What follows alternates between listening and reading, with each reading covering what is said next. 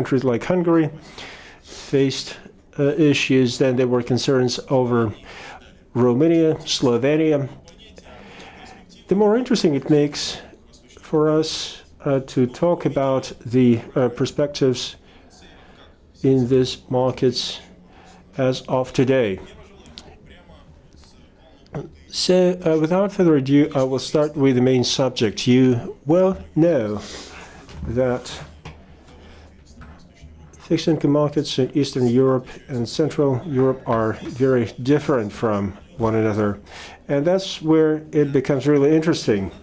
For me, as a reporter, it is interesting to see uh, what are the reasons in the level of liquidity. I would like to talk about the markets in terms of volume and level of development, but uh, there's uh, not always sufficient liquidity. Or other markets may have uh, sufficient liquidity. Uh, they may see uh, a good healthy situation like the secondary market uh, in Czech Republic. Correct me if I'm wrong. But it's not one of the leaders in Eastern Europe. Let's talk about these differences, what the reasons behind them are. I would start with the right-hand side with Yekaterina Trofimova. Uh, later on, I'm going to uh, introduce the rest of the panelists. Yekaterina Trofimova is first vice president of Gazprombank. Uh, can you hear me?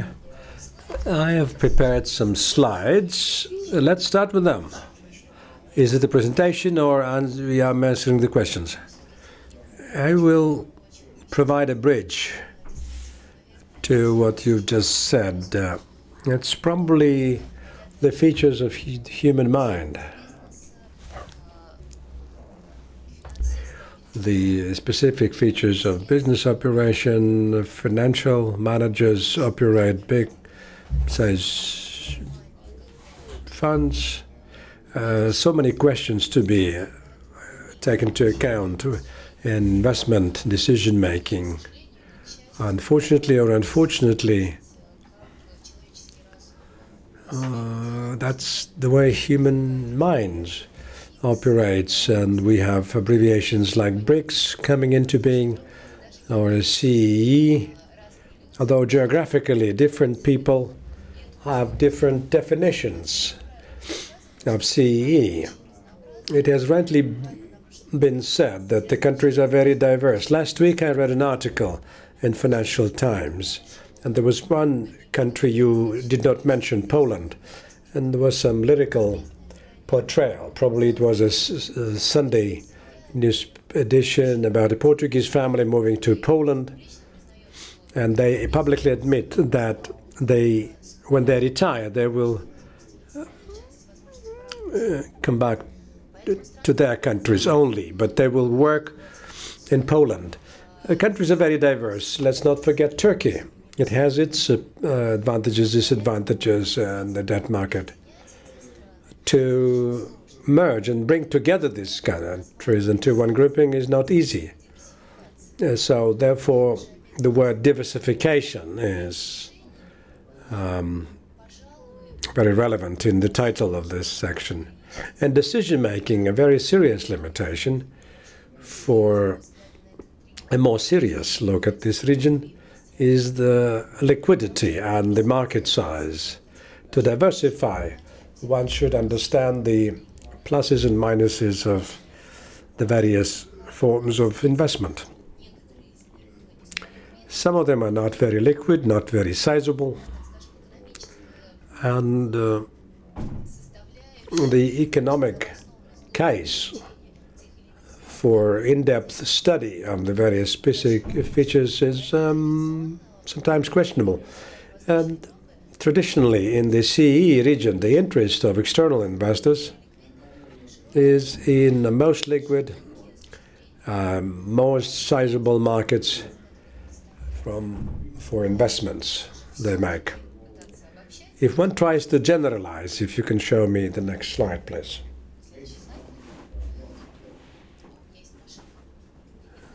Uh, I have no control panel. Thank you. One should say that the debt burden in CE countries continues to be quite uh, moderate, which is a traditional indicator everybody is looking at. And no doubt it shows that uh, there's a potential for debt market growth, quite serious potential. Up until uh, we see an uh, lending overload. So the level um, the, Slovenian banks are a source of concern more recently. Besides uh, credit risk, uh, in terms of currency risks that these countries represent, CDS uh, five years for various countries, and light colors show some CE countries. The range is very wide. Uh, for Czech Republic is one thing, Poland uh, similar, but uh, Ukraine is pretty high in government debt. For currency volatility, in CE, there's uh, pressure from decisions uh, taken in the core countries of the European Union with regard to debt market and securities. Uh, there is, of course, uncertainty related to Tobin tax, which uh, may affect uh, uh, stock and debt market of CE. With regard to currency volatility, which is important for foreign investors, including Russian investors in this region, has been uh, currency volatility has been quite moderate, and this slide shows average to monthly data. Traditionally, one talks about the prospects for economic growth. Ania would be uh, on the first to speak, so my purpose is to set the tone and provide traditionally cited data. And the prospects are good. We see global e economic slowdown. I believe that the current crisis is less uh, related to financial market, uh, rather a slowdown of economic development worldwide, which was uh, visible early 2000 years. The emerging markets, which are still filling the technological gap. When I say technology is not only still making or casting, technology is about communications, uh, verbal communications, uh, business organization principles, decision making principles. And filling this uh, technological gap uh, gives you good prospects for growth. That's a slide, uh, uh the trend in the world the financial uh, flows coming back home uh, reduction in activity, uh, outward activity, and that reduces the possibilities for raising funds externally. And this is quite a topical conference. For Russia, companies from CEE look at Russian investors with uh, good interest. They come and visit on a regular basis, and enhancement of this transborder dialogue and financial flows could be potentially a way to resolve the issues generated by the crisis.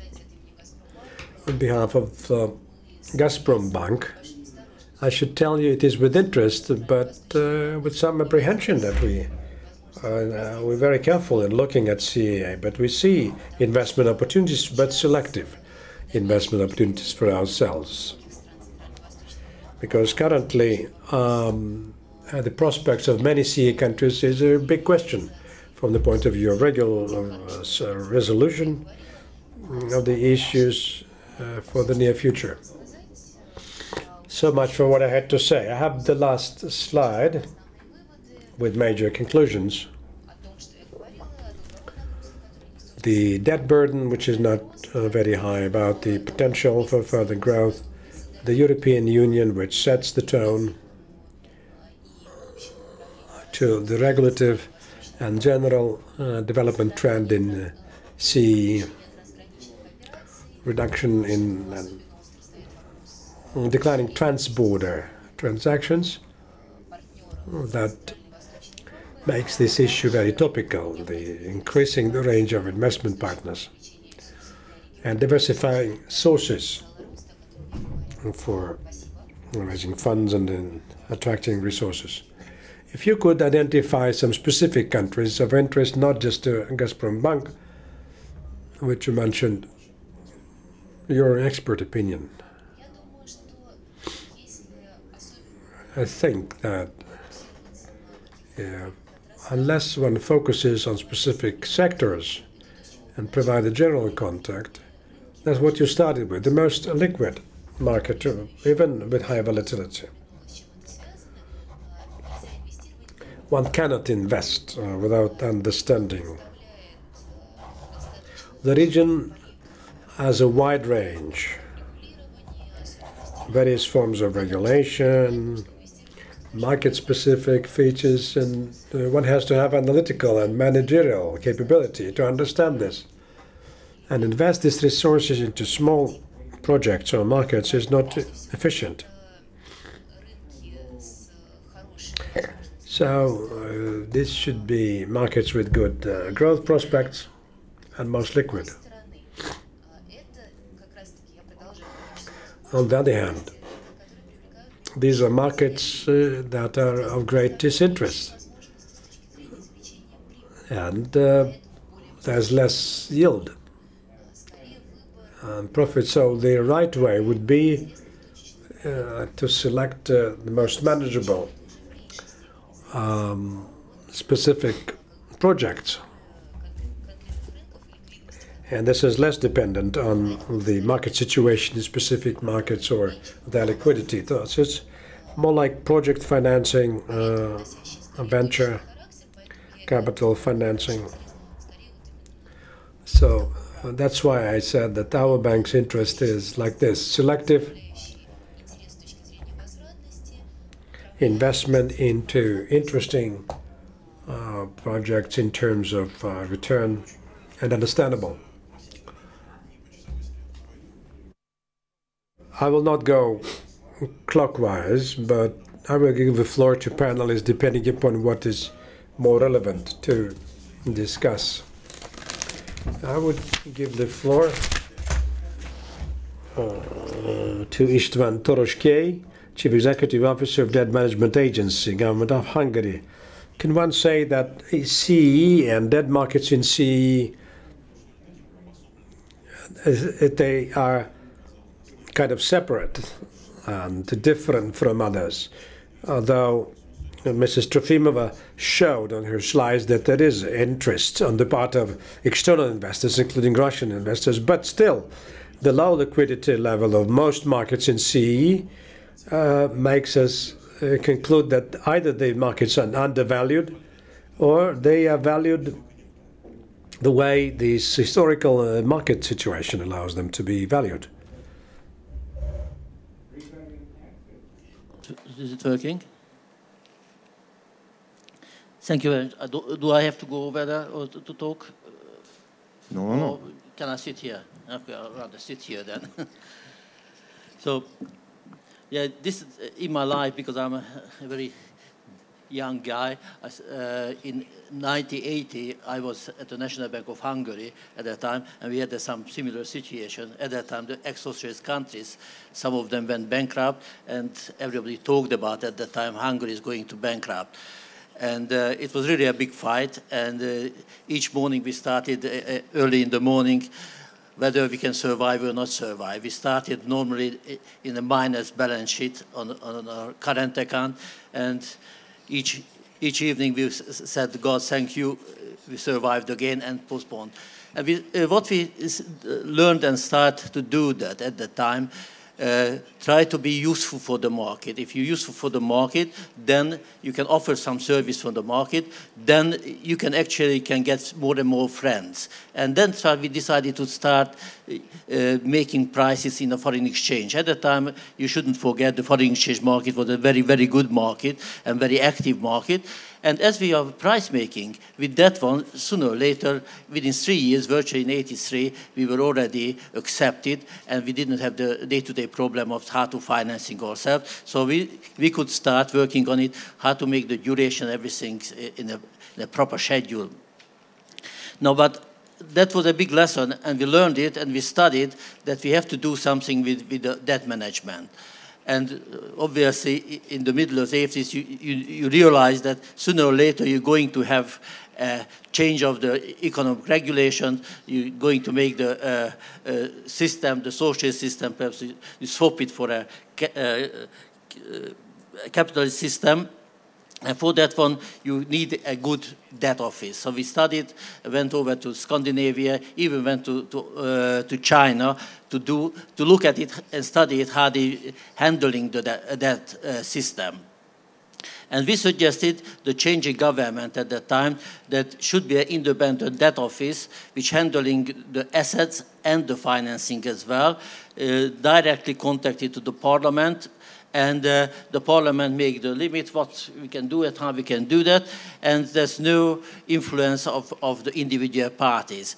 I still think that would have been the best solution, but the party's interest was different. And we got a debt office which was created in, originally in 94, which virtually just one side of it is, is the financing side of it. So our job is to really to, to finance uh, uh, the government debt as as as long as and as cheap as possible. So that's our situation. That's what what what we're doing on on the on the situation. Now, uh, I was on the private sectors, and I was called back on the uh, 2011 uh, in November when we again had a, a certain training experience on the on the on the market because there was a lot of uh, talks about that. Again Hungary goes bankrupt. We cannot pay our, our debt and we just not good enough to survive. So we should follow the Greek situation which was actually absolute bullshit. We didn't have any uh, similar problem like uh, the Greek. But you know it's a psychological situation. If they're talking talking talking then sooner or later people uh, believes that one and they start acting to that one so two, 2011, uh, in November when I took it over the debt office, coming back from the private sector. So the first thing was immediately that uh, try to, to quiet the market. We talked, talked, talked, explaining where we are standing, what the government wants, how the government wants, and we try to find different market uh, possibilities. That's why I came at that time to, to Russia, in Moscow, because uh, we were planning to issuing uh, bonds in rubles, government, Hungarian government bonds in rubles. We still will do it sooner or later. Uh, but at the time, uh, we, we came here to see whether it's possible the Russian partner is interested or not.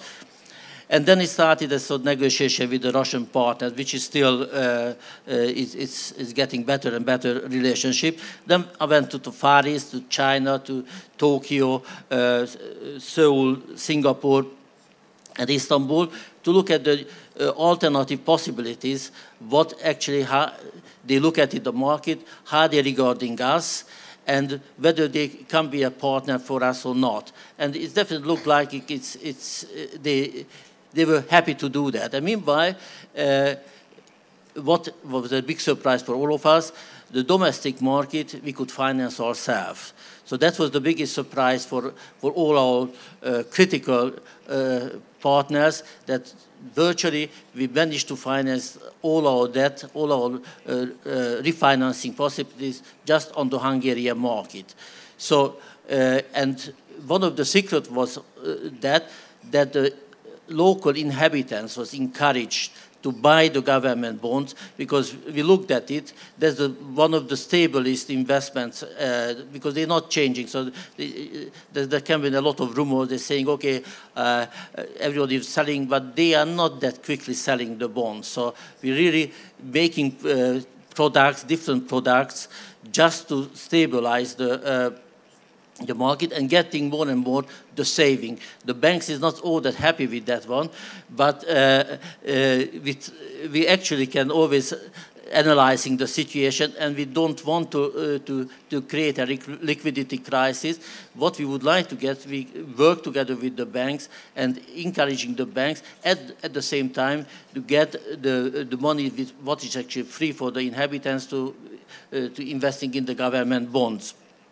And for example, it's, it's in our plan now to making a, a certain, uh, uh, so certain called baby uh, uh products, because it's, it's a government to encouraging the, uh, the rates of birth to get more and more baby, they actually offering a certain amount which, uh, which they fixing on an account or, or on the treasury and on that account what we would like to making a product to give them and for the whole life of the uh, studying the children and after the studying to, to set up a, a family to, uh, if they're buying the government bonds, they, they might get a certain benefit. So that's what we're thinking to making the long-term uh, saving, which the best things for, for the economy.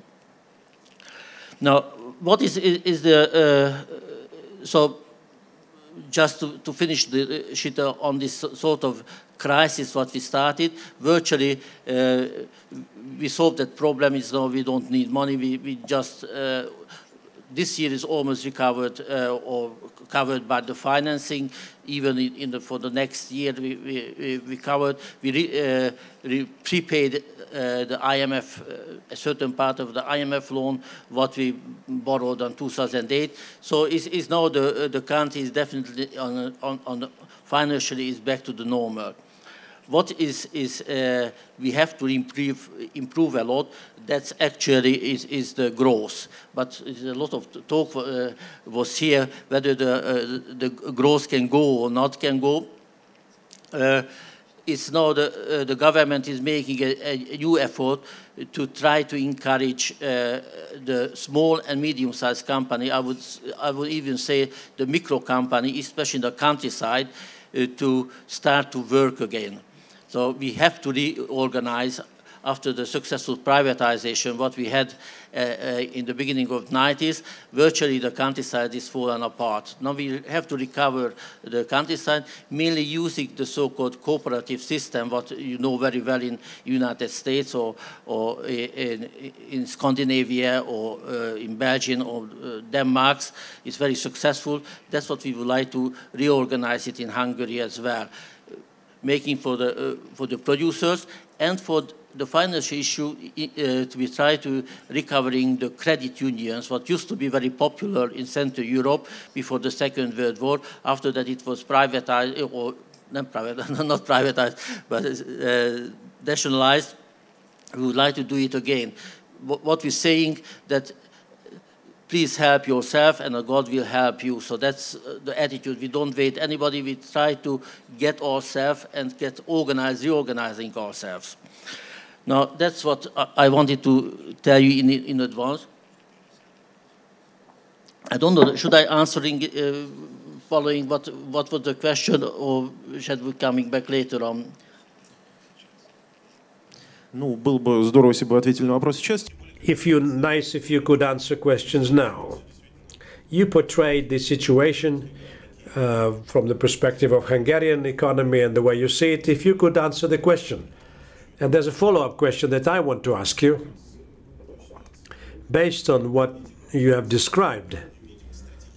The strategic uh, is it true for other countries of CE?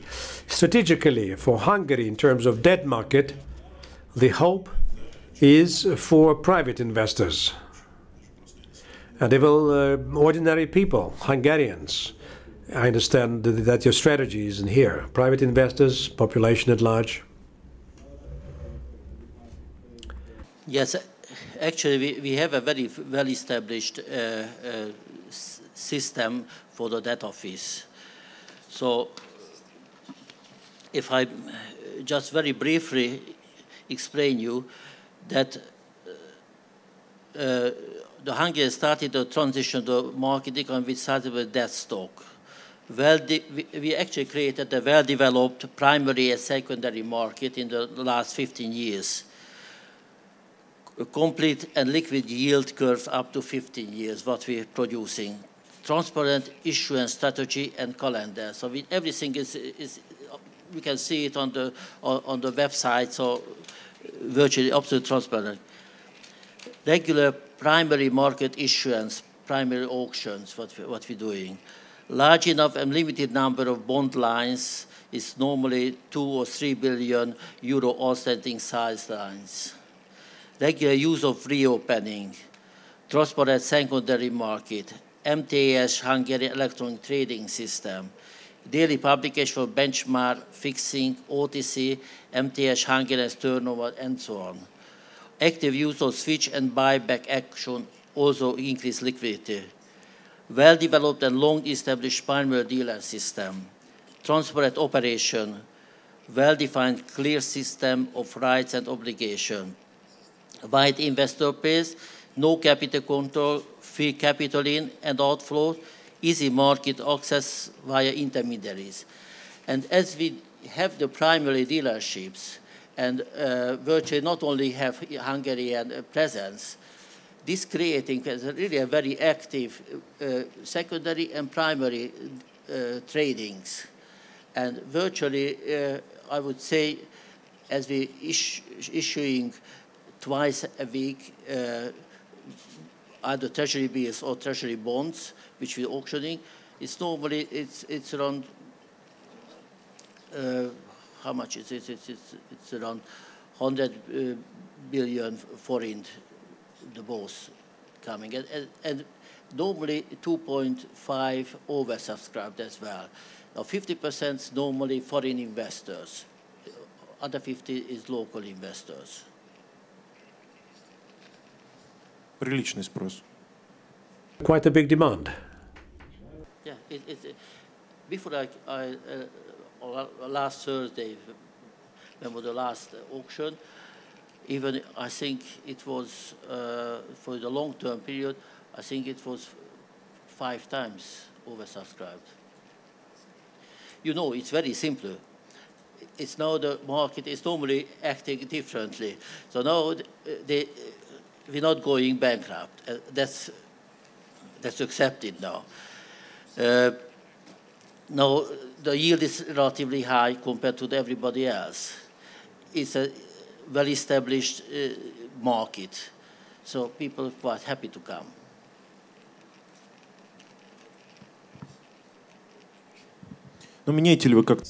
Are you changing your strategy for the near future? What is going to be priority area for your office, speaking about the debt market in Hungary? Virtually, what uh, obviously everybody's wish uh, to try to get a cheaper loan and, uh, and try to get a longer duration. Now that's what we try to do with the local market, definitely in Hungary. And if you look at the yield curve, what actually started in a one and a half year ago, it definitely came down a lot. I think there's still rooms to come down a little bit, but it's not too, not as degree as it, it was before them. Uh, at the same time, we're looking for, that's how I mentioned, uh, we're looking and uh, checking the Moscow market, what we can do here, whether we can, use the local currency as a financing, because we would want, to support the local market. If to go to Moscow, Istanbul, or Seoul, we would like to use the local currency, we swap it to euros. So that's uh, what we would like to do that, because normally we keep our debt in forint and euros. So that's what we do market, if we can say it, we look at it and check it. Я понял вашу мысль. Э, спасибо. I understand э, э, what you were trying to say. Vadim Korablin, the director of Treasury of MDM Bank. I know that you have a presentation of sorts, and then I will ask a question stemming from previous presentations. You can uh, speak from where you are.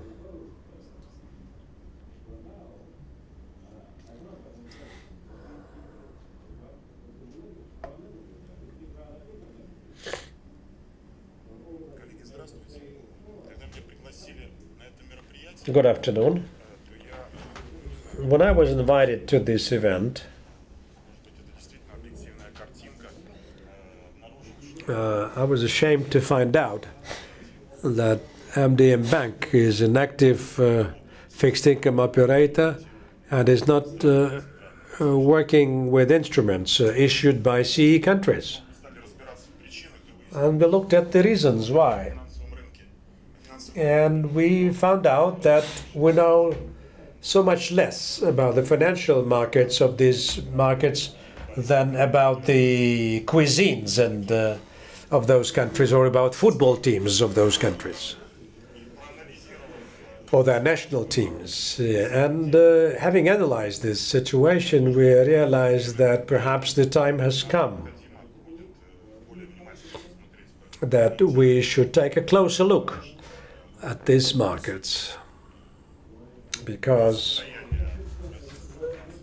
the state of the Russian financial market and the Russian banking system uh, prompts uh, diversification of investment. Uh, the Russian banking system is characterized by some global features. Russian banks need capital, and the central bank is consistently tightening its uh, policy with regard to banking capital requirements.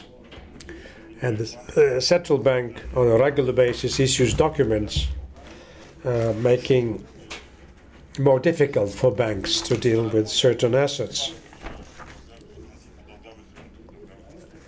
And that applies to uh, debt instruments as well. The most recent change that the Russian central bank introduced has led to a situation where most traditional fixed uh, income instruments has a much larger capital burden and N1 uh, size is so much more now. The most popular instruments in the Russian market are uh, bank bonds.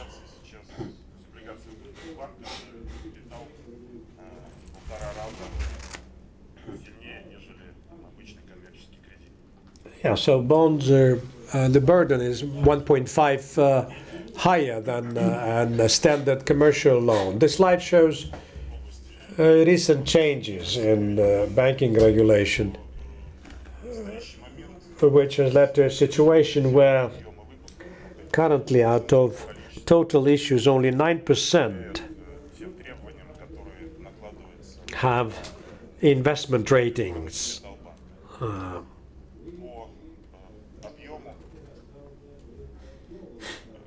in terms of size, volume, or the number of issues, I mean Russian local bonds. Currently, uh, it, it, does not present a big burden on the capital, only 42%, and the margin, as you can see,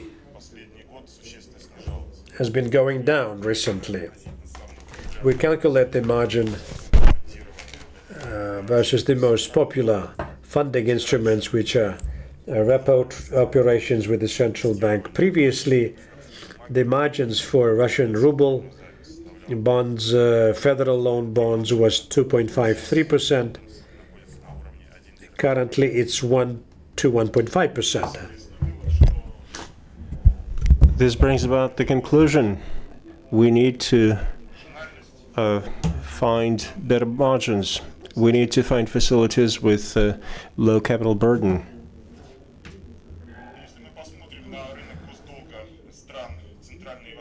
If we look at the uh, sovereign debt markets in Central and Eastern Europe, we'll see that the requirements for such facilities are met in five countries uh, Czech Republic, Estonia, Slovenia, and Poland. For obvious reasons, we are not looking into investment in Slovenia. There are valid concerns over the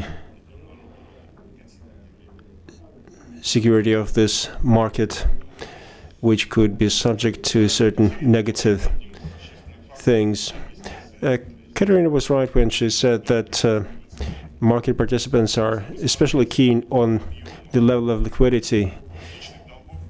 If we look at the volume of public debt in these countries, it is obvious that uh, Polish facilities are liquid enough. Uh, the same is true for Hungary, Czech Republic, and a few other countries of the region. If we look at all the constraints, though, altogether, uh, which impact our ability to use these facilities, we see that we can only look at Poland and Czech Republic for real investment. Uh, they have a rating higher than what we see in Russia. On the other hand, uh, the level of liquidity is uh, quite sufficient.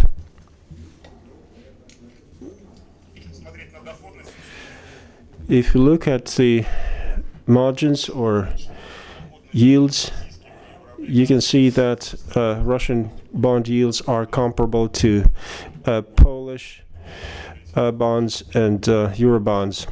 Uh, Polish bonds have a high rating. Uh, these facilities have been issued in Germany despite high credit quality. these facilities are less attractive to us because of lower yields. We have analyzed Eurobonds issued in uh, Poland and in Russia with a maturity in 22, we see that uh, they act in the same way. Uh, in uh, some areas, there is an opportunity to uh, do swap trading, but uh, we do not have much of experience in using such facilities. So all this is uh, somewhat premature for us. Uh, this can be uh, viewed as a way to uh, diversify our portfolio.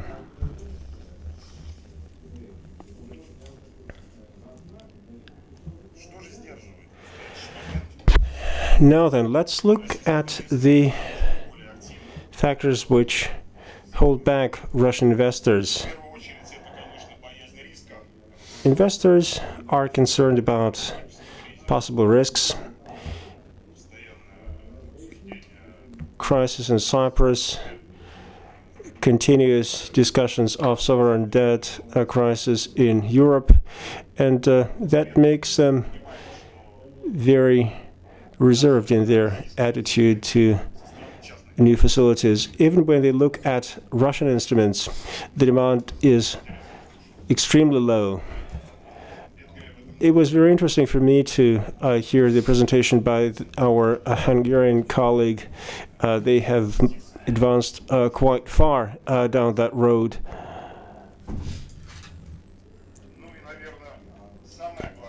The most relevant uh, issue which acts as a constraint for us, and I don't know how it can be addressed, is that uh, the uh, global recession of 2008 showed that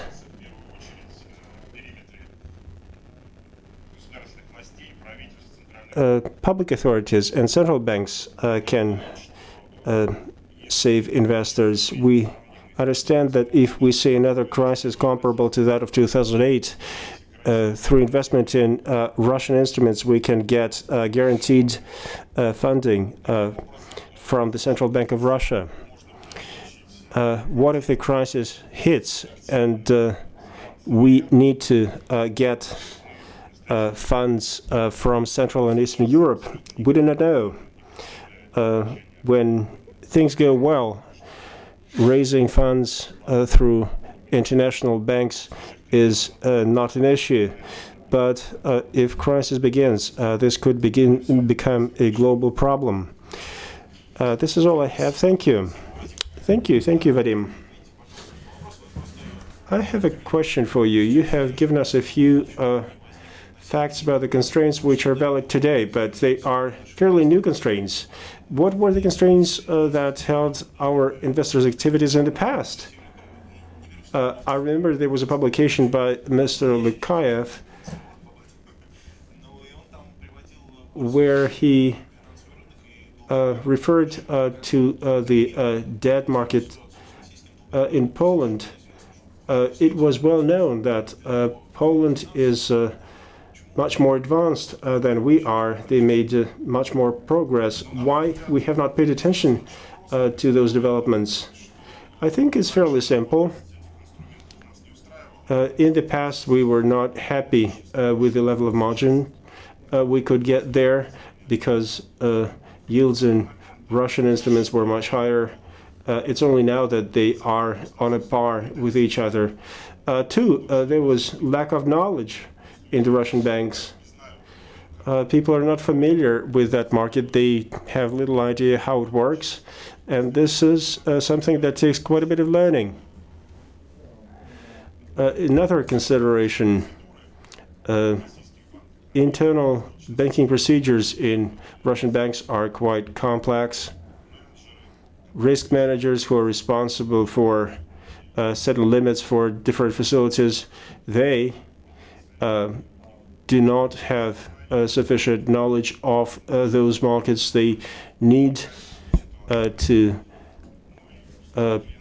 learn about those markets. And again, there is little demand uh, from customers.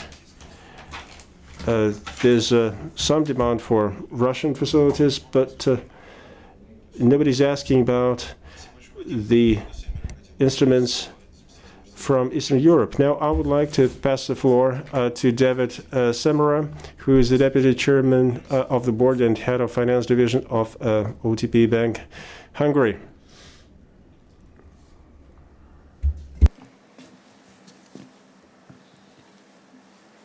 So, dear colleagues, thank you very much for uh, the opportunity to speak in front of you.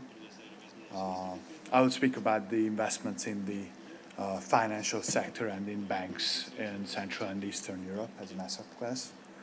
Um, I would like to uh, refer back to what was said before. Uh, actually, when it comes to investments in the region, I think the key is what uh, said is that uh, actually you need to understand these markets. Uh, Central and Eastern Europe is a very uh, diverse uh, region. Uh, when it comes to investments, not just bond investments, but high uh, regional company like OTP makes its investment decisions, actually you really need to go down into the details, which market segments can offer growth, which countries uh, are a good investment uh, target, and what the risks are. In my presentation, I will touch, uh, I will have just uh, one slide on the macroeconomic situation in the region. Uh, this has been mostly covered already. Uh, when it comes to banks as an asset class, the depth of financial intermediation is really the driver of of growth in the future. Um, we see that uh, in Central and Eastern Europe, in Russia, and in many other markets, emerging markets, we see that uh, the best risk return balance can be seen in retail lending. Uh, I will give you a little bit of perspective why and, and what we can see in, the, in various countries. Um, afterward, after that, I will speak about uh, each con- about each country a little bit. What are the financial indicators of the banking system? Uh, how successful investments have been have already been uh, in these countries. And in the fifth part of the presentation, I will um, show how investment flows actually take uh, take place in the region. Um, in the afterwards in the presentation, which will probably be, be distributed to you, there are case studies by country and country, which you're really uh, welcome to use later on. Uh, so, uh, when it comes to the macroeconomic situation,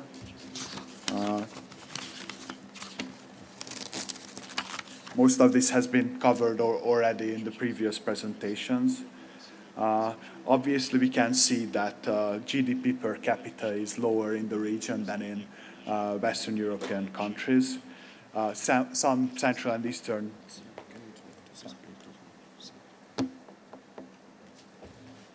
some Central and Eastern European economies already reached 60 or 80 percent of every GDP per capita level of the EU, but there is still room for growth. Uh,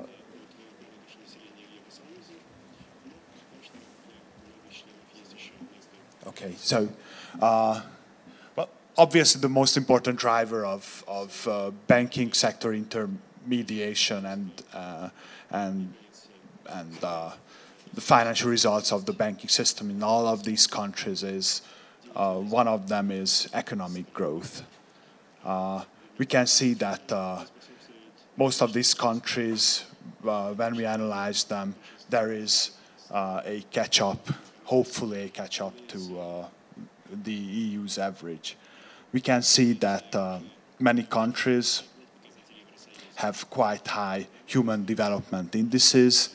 Uh, that means that uh, even though In central and Eastern European countries, we have higher volatility of economic growth because there is higher dependence on exports and capital flows. Still, we foresee that there will be a catch-up. Uh, despite the situation, and this is what I uh, really try to explain, you need to analyze all of these countries one by one. We can see uh, higher economic growth in Poland, in Romania and in Bulgaria.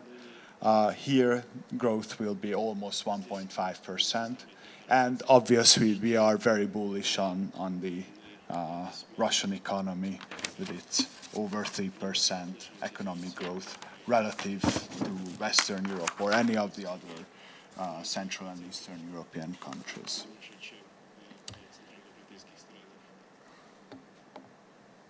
Really, the other important driver of growth in the financial sector, in the banking sector of, of Central and Eastern Europe, is the relatively low level of financial intermediation as uh, usually it is, always, it is looked like uh, penetration, volume of credit, uh, private sector debt relative to GDP. Also, uh, we can we we can still see that the financial sector of Central and Eastern Europe is relatively underdeveloped relative to uh, Western and Eastern Europe. Uh, uh to Western Europe, the, the region's GDP is roughly 30% that of uh, the euro area, and the outstanding loan volume is only 9%. Uh, this would forecast uh, very good growth in terms of financial instruments. Also, it's very uh, interesting to look at how uh, not just at the uh, private debt to GDP, but also retail lending relative to GDP. Here we can see that the uh, Central and Eastern European region still has a very high potential. Also, uh, for you as investors, when you're looking at specific names, it will be very interesting to look at the composition of retail lending, whether or not it's mortgage, uh, whether or not it's more uh, non-secured lending. This will have a very important impact in terms of uh, return on equity, in terms of the margins uh, in these countries. Uh, when it comes to uh, Central and Eastern Europe, uh, we see a lot of room in terms of the deepening of the financial system. Uh, in many uh, countries which are the members of the European Union already, we can see a big increase in terms of uh, mortgage volumes. This, the driver of this mortgage boom in most of these countries were a very low interest rate environment or very lavish state subsidies. which we uh, cannot see in Russia. And in terms of, of uh, um, relative indicators, in terms of, of penetration levels, still uh, we think that the uh, that actually the Russian uh, banking sector is the offers the most uh, development potential.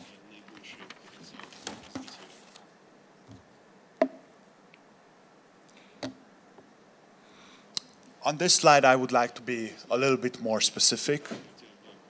Uh, this slide is about retail lending in Central and Eastern Europe.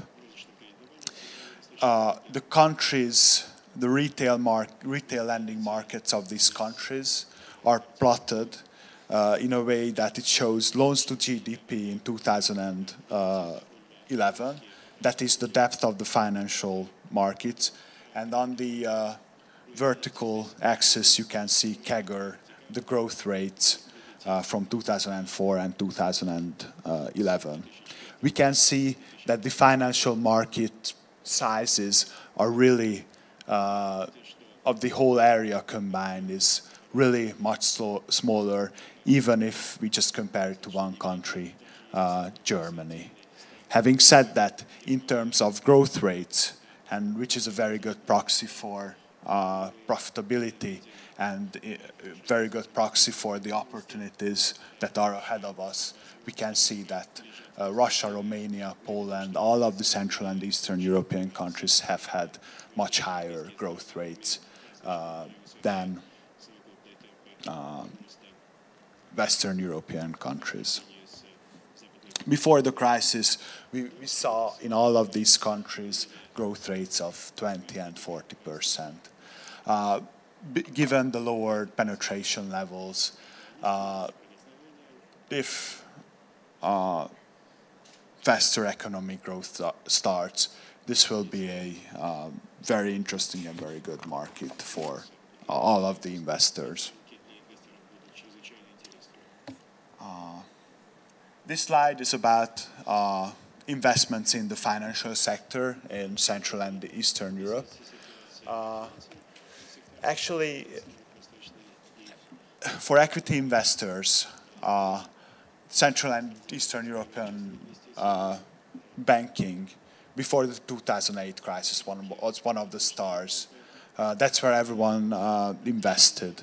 And this is because of the very high return on equity levels we, can, we saw in this sector. Uh, in 2005, uh, Russian banking sector's return on equity was uh, well over 20%, and the same was true for Hungary, and all of the countries, uh, nearly all of the countries had much higher uh, return on equity ratios than in Western Europe. Then obviously came the crisis, where we can see that uh, there is more volatility in the in the country uh, in the uh, financial indicators of the uh, banking sector, especially uh, in some of the Central and Eastern European countries. In 2011, actually, two countries had negative return on equity uh, because of lower growth and uh, because of changes in the regulatory environment. Uh, when it comes to where you put your money as bond investors, NPL dynamics, country by country, is very important the driver of re return on equity is in most of the countries where less payment discipline and higher higher NPLs, and in some of the countries that was more the change of the regulatory environment. But we can see that even uh, Central and Eastern Europe cannot be looked at as one market. We can see really different trends among the uh, uh, NPL, non-performing loan rates, country by country. We can see that after the crisis, actually, Russia and Slovakia fared much better than any other part of the um, Central and Eastern uh, European universe. Uh, when it comes to the banking sectors, and uh, we are doing internally uh, profit pool uh, modeling when we are looking at uh, which countries to invest in, where you can see the growth, where you can see the uh, best returns. Um, actually, Russia is still uh, one of the most interesting markets uh, investment-wise.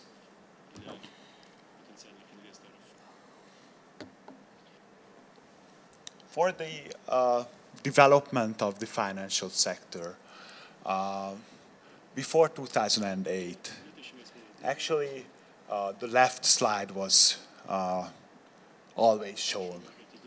Uh, for indirect investment was regarded as a proxy of uh, good banking management. Uh, before 2008, always it was stated that uh, uh, in countries where there is uh, high share of foreign investors, that is very sure these especially in the banking sector, most of this investment was from uh, professional investors, that is banks, rather, rather than uh, asset managers. Uh, these companies came to the Central and Eastern European uh, area because of the higher margins. We can see that still uh, after the uh, after 2008, uh, most of these investors are, are he here to stay in the region. And also, there's a new trend, and that uh, trend is really the uh, localization or regionalization of investments. Uh, local banks, especially banks from Russia, uh, started expansion in the Central and Eastern uh, European area. And when we look at uh, uh, M&A volumes, we can see that most of the investments before were across the border. Across the border here means that is um, inter-regional, so the border being Central and Eastern Europe and the rest of the world. Uh, in 2011 and in 2012, actually we can see that the, most of the investments are actually taking place within the Central and Eastern European uh, region. And this one is being spearheaded uh, by some of the Russian banks. So uh, when it came to the uh, specifics of uh, investing into banks, this was the overview of the situation. Really, uh, I think for investors there are two very important takeaways. Uh, one of them is the actually the Russian market seems to be the uh, most interesting uh, markets in terms of growth and in terms of uh, stability because of the uh, overall uh, economy. Also, when it comes to investment, it's really important to understand each country and uh, country by country. And really, I would again like to refer back to what Ekaterina said. You know, you would really need uh, to look at the investments one by one, uh, looking for uh, particular opportunities, opportunities rather rather than uh, looking at the whole area as an asset class or as uh, one investment. So uh, thank you very much for your attention and thank you. Спасибо большое, Дэвид. Ну, я тогда, чтобы паузу... Uh, thank you, David. Uh, let me introduce to you Ulugbek Suyumov. Uh, of Banco Espirito Santo. Uh, the floor is yours. Uh, David has uh, taken us to a very interesting discussion. Uh, we have looked at differences uh, between markets of uh, CE economies. now we can talk about the prospects. My name is Ulugbek Asuyumov. I have lived in Portugal for 20 years. I can speak Russian, if I may.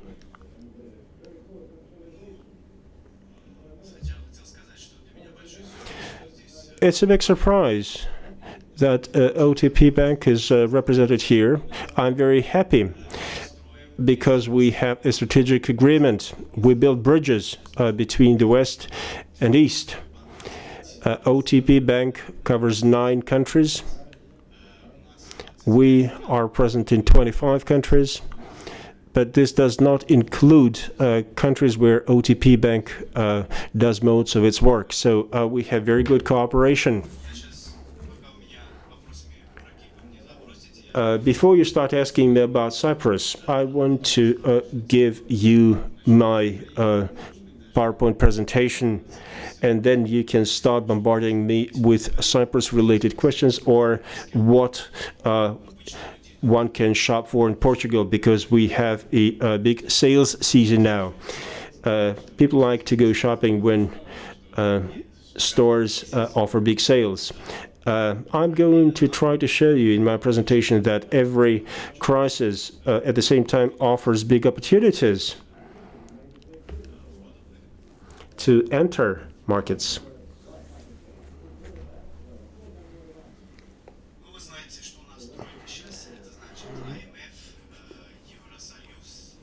You know that uh, we have the big three, uh, IMF, uh, European Union, and uh, European Central Bank. Uh, they have offered uh, 78 billion uh, euros.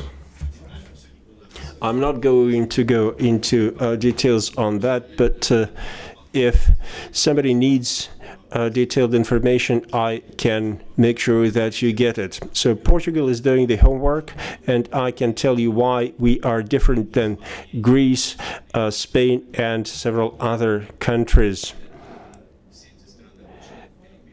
uh, in uh, many contexts, those countries are looked at as one whole. We have political stability because 80% of the parliament uh, represented by uh, three parties, uh, PSD, uh, CDS-PP, and PS. they account for 80% of all uh, parliament members. Uh, representatives of these uh, three parties have signed um, MOU with the big three sponsors and have committed to perform structural reform in Portuguese economy, which should bring about serious deleverage. Ireland had a problem with banks. They had banks which uh, were overdebted. Spain uh, had an issue with real estate, and we're going to look at that. Then uh, came Cyprus, and we're going to talk about it in a few.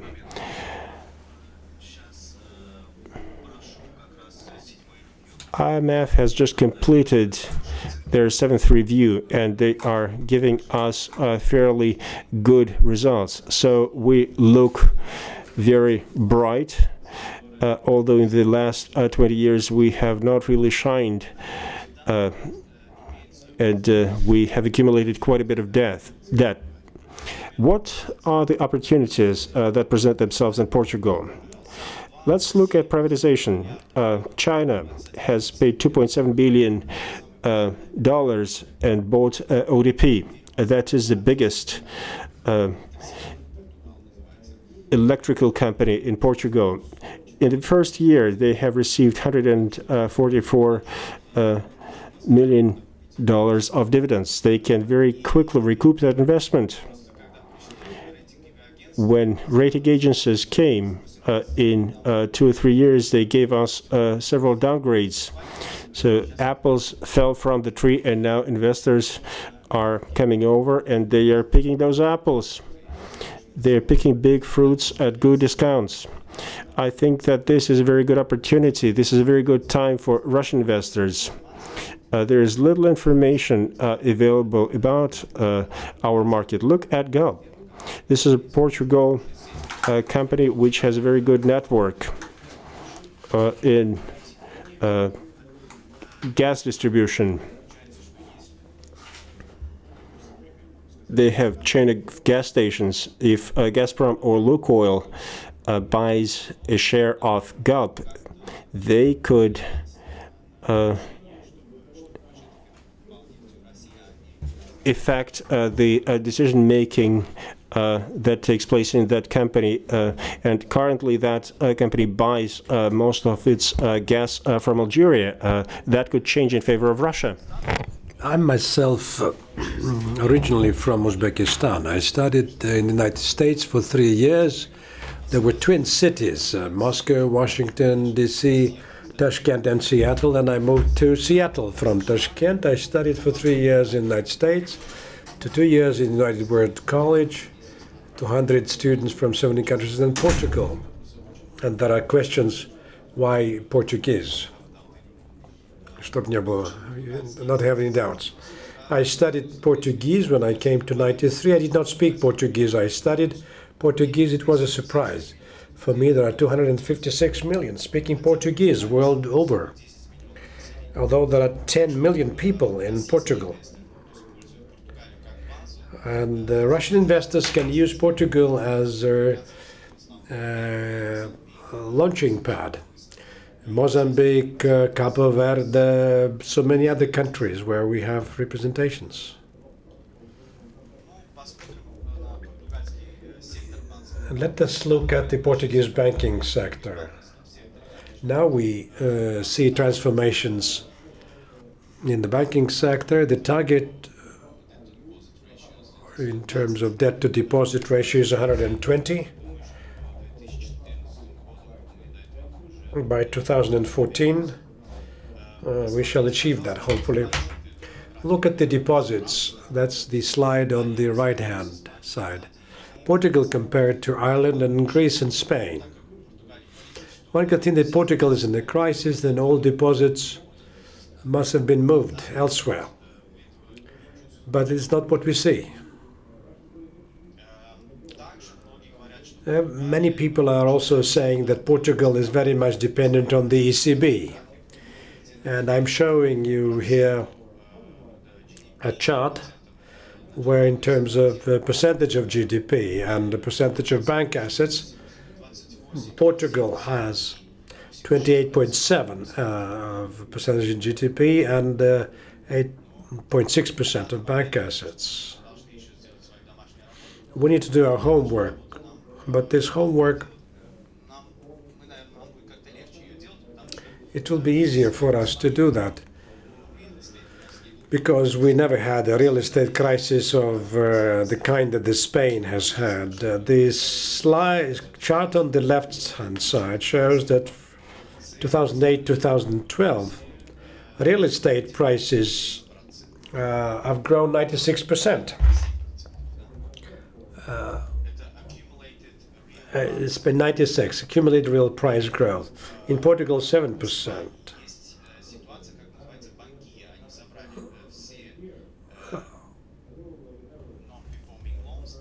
And so they brought all the non-performing loans in Bankia and uh, restructuring it. We don't have this uh, problem in Portugal, so the real estate prices have gone gone down and are even rising.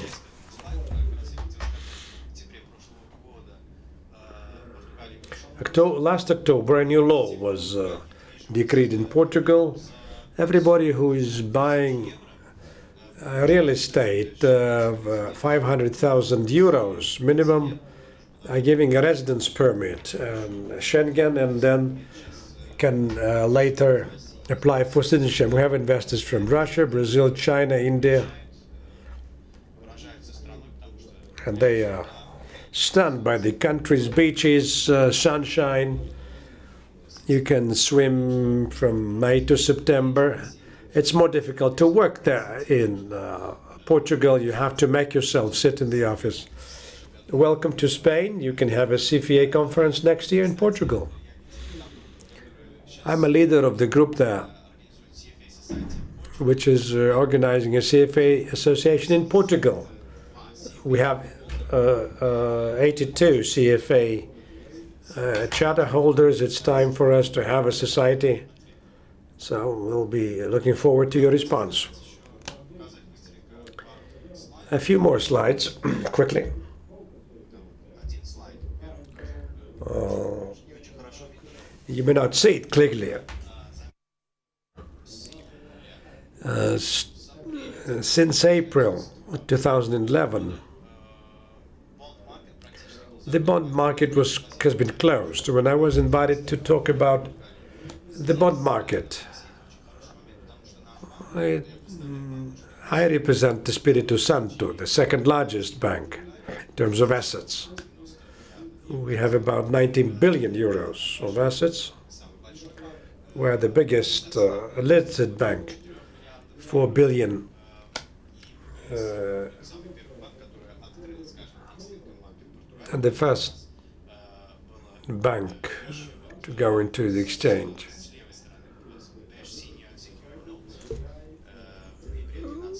We had an issue in November on uh, a three-year uh, bonds,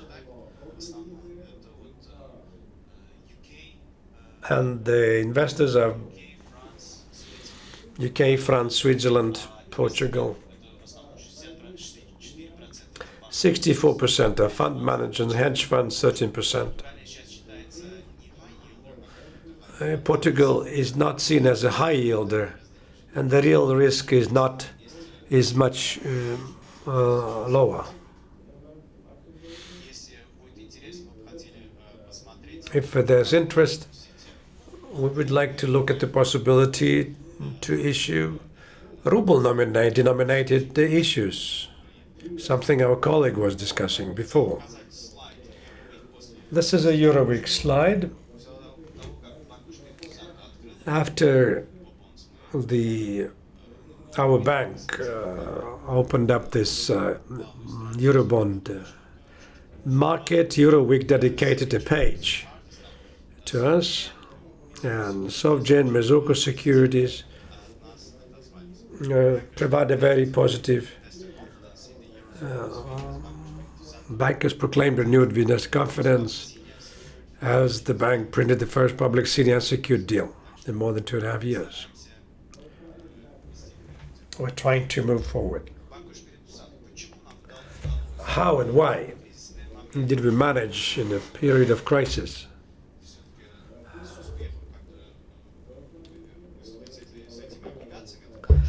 to issue successfully these bonds. If you look at this chart, we got nothing from the state. There are four other banks in Portugal who used one to three billion euros of uh, government aid. Uh, we have a core tier one ratio, quite strong. If you look at solvency ratios of Portugal, which is the central bank, is 10% minimum. European Banking Authority, the minimum is 9%, starting June 2012. And by all both indicators, our capital is, uh, is a higher level than the, uh, the requirement level. Uh, why and how did we manage to be consistent in our strategy in this, during this crisis? The bank has been in existence for 144 years. Ricardo Espírito Santo was a grand, great grandfather of uh, the current president. It's a dynasty of bankers. The bank has had a very stable strategy and we have stable shareholders. 53% is owned by strategic shareholders, Crédit Agricole, uh, Espírito Santo family, Portugal Telecom, and the second largest Brazilian bank has 8.3. We invite Russian managers to uh, come to our equity story page I've been in investor relations for many years. I can talk for hours. A very good case, very instructive. I think after this session, we can discuss this uh, separately. And I give the floor to Peter Kadish from uh, Metropol. Yeah, and also we'll need to hear questions. Peter Kadish. I could hear my Portuguese colleague, and I think I decided to buy something. In Portugal. I have two slides. Uh, is uh, dealing with uh, local bonds, uh, federal loan bonds, futures on federal loan bonds, and I will more look at the economic case and look at the developing countries from the point of view of the global pictures to identify trends. And I will look at Russia as a case. Our colleague from the MDM Bank uh, has identified a very important thing, uh, important for understanding why liquidity exchange between developing economies is pretty limited. If one asks a, a trader why people buy a bond or don't buy, the criteria is simple.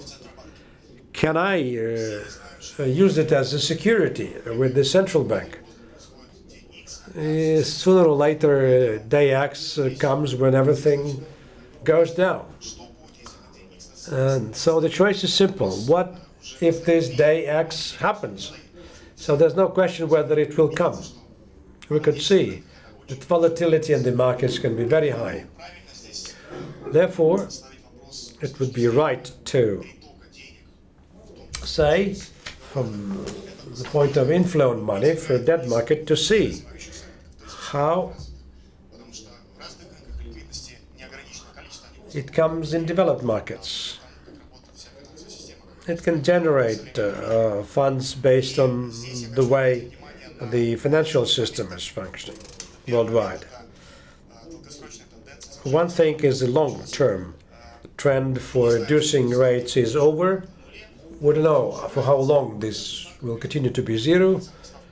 The gap between developed and developed markets is pretty high. This determines the trend that we have seen for at least a year. The inflow of money into developing markets are more into fixed income. People want to go away as far as possible from volatility.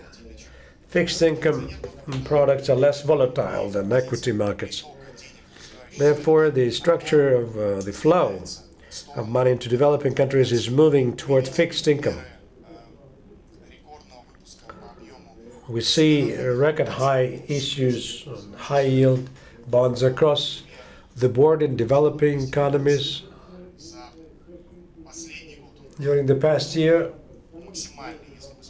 it was maximum if you look at these 10 years. Today, during three years, it's growing three times as fast as on the average since 2010 the tendency is there, and that capital market story is comparable probably uh, in Japan, uh, and this for a while can be quite a long time. Uh, talking about Russia, how it is positioned to accept and receive money from outside, because there's so much money going into developing economies. Russia is making uh, successful steps. The quality of the curve is becoming better. Uh, the euro bond market is underdeveloped relatively when try to chart a curve. This is a federal loan bond curve. I'll show you what has been happening for the past two years. It is clear from this chart, as has rightly been said, if we shift from top-down approach, then the specific features of the economy will determine what is happening in the specific countries. Although the global trend will certainly uh, determine what is happening in each country. In Russia, this green curve, green curve is a federal loan bond, and yellow is what was uh, two years ago.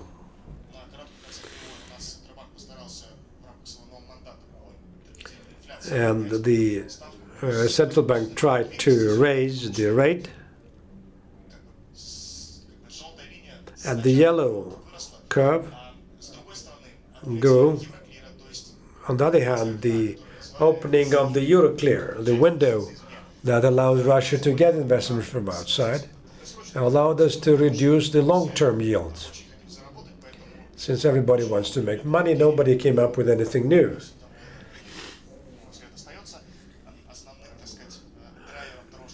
And that continues to be a driver for what's happening in the bond market. So these two factors uh, made this uh, Russian curve very flat. I'm not sure which curves, what kind of curves are there in CE, but I assume they are becoming uh, flatter because those countries absorb the incoming capital. If one looks at the macroeconomic story, it is good. Let's create an infrastructure the curve to absorb this money. But the important thing, how we use this money. If this money is used for uh, consumer loans, real estate bubble, that uh, for some time the economic growth may be high, but at the end of the day, there will be a crisis.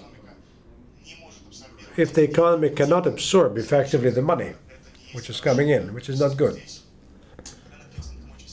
fixed income market is very much related to the way the economy is structured overall. Therefore, for Russia, I should say, it's not always that there's a possibility to effectively uh, invest and utilize money. Yes, for some specific project, but compared to other countries overall, the likelihood of a bubble is quite high in Russia I can cite an example where the central bank, there are two barriers uh, for the central bank. If we reduce the rate, we they make the economy less attractive. But uh, it, uh, in, inside the country, everybody begin to take loans. If we make the rate high, then the foreigners will inject money. We'll see how uh, Russia, will perform during the next several years, but the level of debt is pretty low. In Russia, the expected issue for next year is pretty small among emerging markets. It's any inflow through Euroclear can seriously affect the value, the price. the incoming money is less stable than the money generated inside the country. And this is uh, where the Eastern Europe has suffered so much. It's good they had this floating rate, inflexible rate. And so the uh, currency was devalued and the exports increased. On the other hand, uh, the rates were, were low and uh, when during the crisis, uh, it was difficult for people to repay the loans. Yeah, money from outside is good, but if it goes to real estate only, it's not good. I can only tell you that from the point of macroeconomic perspective, we try to look at what is happening worldwide and the tendency for a fixed income market to outperform equities is quite obvious. We see the by incoming flows into all emerging economies. We see it from the yields of uh, government and corporate bonds compared to equity markets. Yesterday, the OFZ market in dollars, 23% uh, for six-year bonds the bond market, the bond story is becoming more and more important for each country. The question is, what are you going to do with this? Thank you very much indeed. Dear colleagues, we have little time left. We need to actually uh, finish this session. We have received uh, answers to many questions. There were presentations from inside the ECE. We heard the perspective of Russian banks. If there are questions from the floor on the topic of this session, we would be happy to respond. If not, we'll move to a close. Any questions? Good.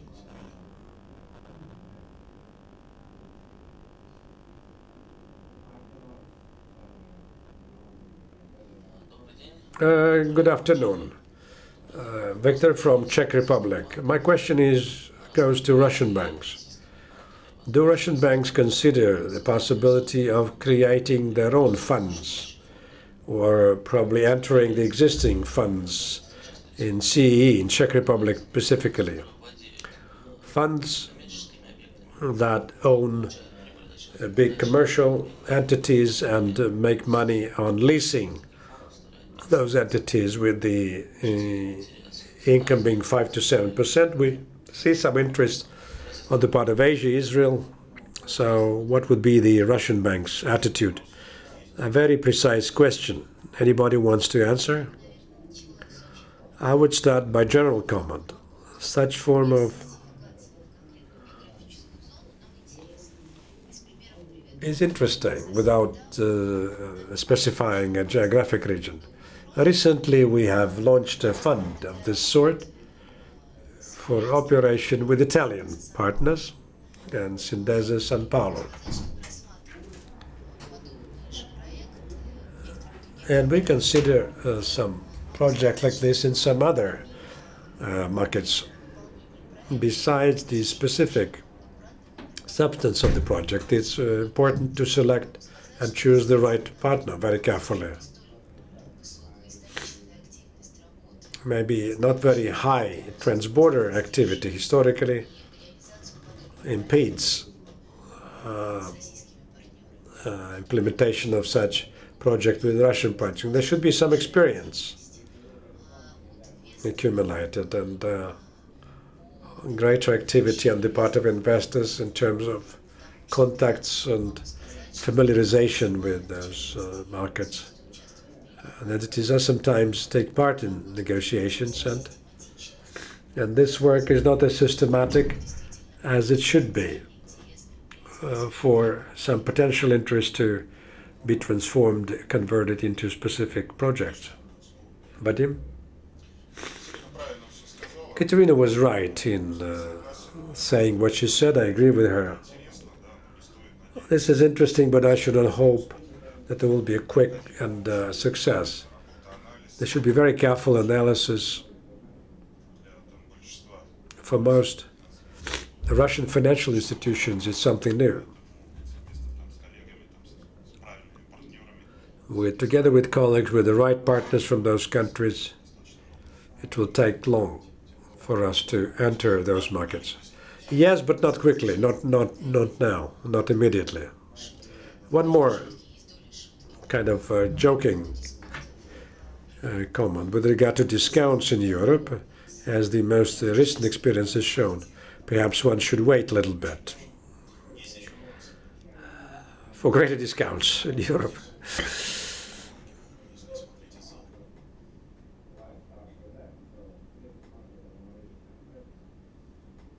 From the floor. Anton Shpuntov, a speaker from the previous session. My question goes to Ekaterina. You said the prospects of the region in CEE is a big question.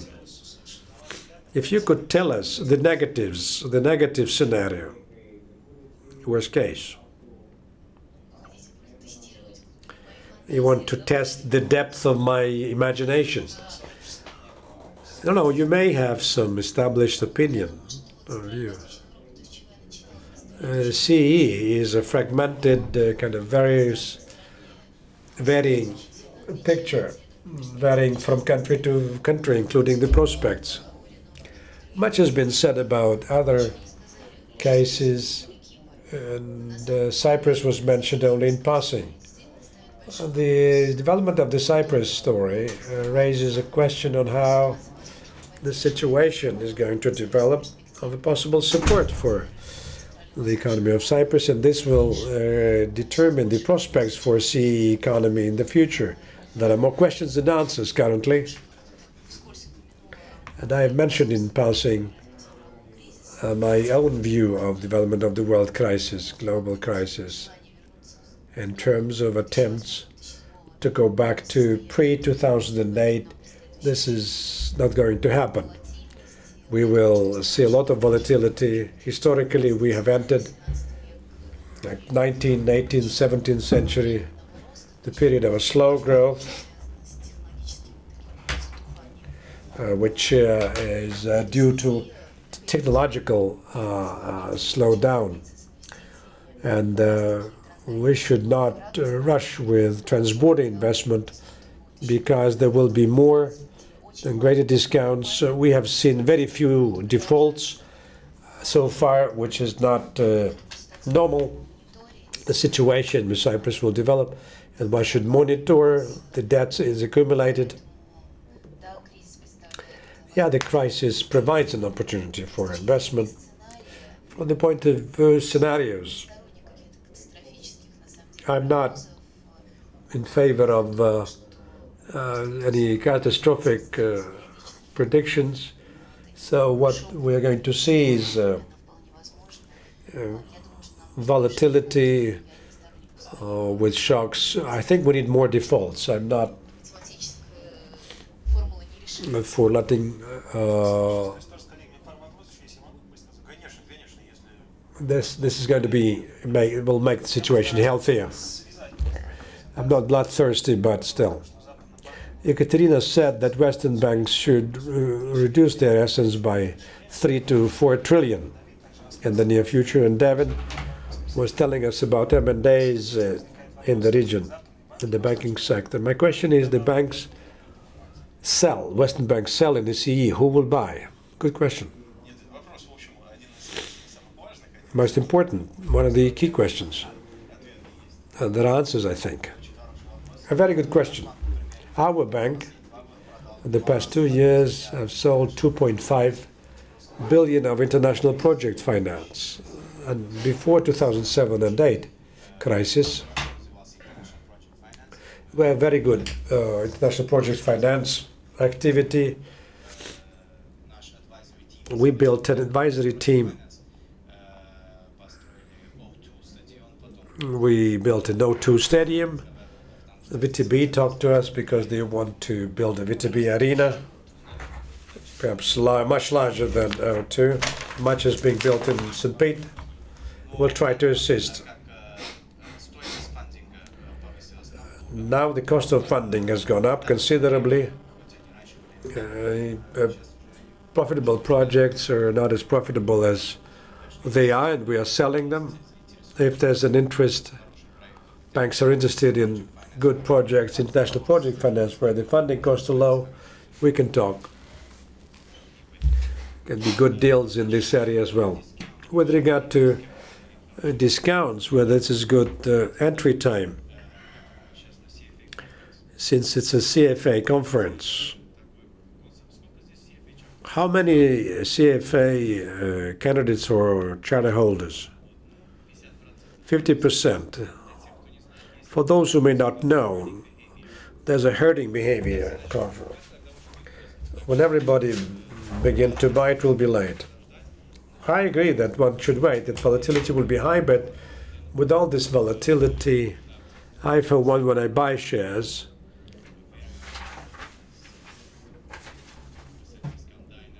yeah, for 20 days it's 20, 30% discount, 40% discount. But if I manage to get a 30% discount, when it gets back, I gain 220. The Hungary case was quite instructive.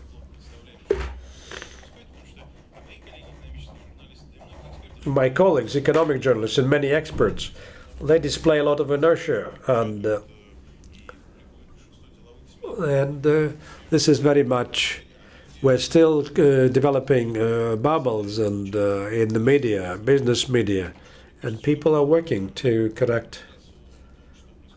It always successful, but the story, uh, the Hungarian uh, story, is an answer to your question. There is a demand. Uh, I have a couple of more questions. David, you mentioned Romania as one of the prospective markets in terms of retail banking. Then you said that they had uh, more than 15% of non-performing loans. Uh, this uh, sounds like two contradictory pieces of information. If uh, they have good prospects in retail, uh, and uh, at the same time, 15% of NPLs. When we look at the current NPL numbers, that's what they have at this point in time. Uh, but at the same time, we know that uh, they are quite stable. When we look at the future opportunities, we we think that, uh, and that's not just my opinion, that's uh, the opinion of the group. We believe that uh, the biggest opportunities will present themselves uh, in Russia. Okay, good. I can uh, comment on the previous question you asked, who is going to be the buyer? we think that Russian banks uh, like Sberbank have become quite active in acquisitions. They are looking to buy banks in Central and Eastern Europe.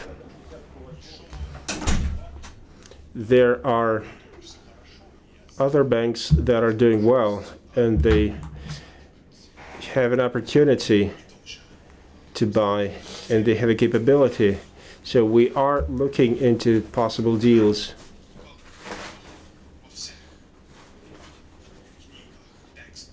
But all textbooks say that uh, M&A transactions are good for sellers. this is a joke. Uh, one always has to look very specifically uh, what is out there for sale. In M&As, I think discipline is essential. Uh, one has to understand uh, very well what the purpose of an investment is. When we entertain deals in Russia, it won't take so long to buy a regional bank, but uh, owners of those banks uh, know that too, and their expectations are high. So you are waiting till they are more affordable. No, we have a different option. We can uh, develop organically, that uh, is going to come at lower cost. Uh, one final question for uh, Mr. Korablin. You said that the margin was getting lower uh, down to 1% uh, plus.